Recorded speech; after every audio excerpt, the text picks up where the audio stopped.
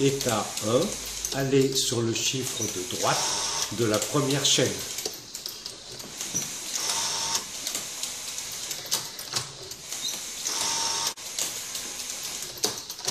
Le 0 est traité par les états 3 et retour avec le 1.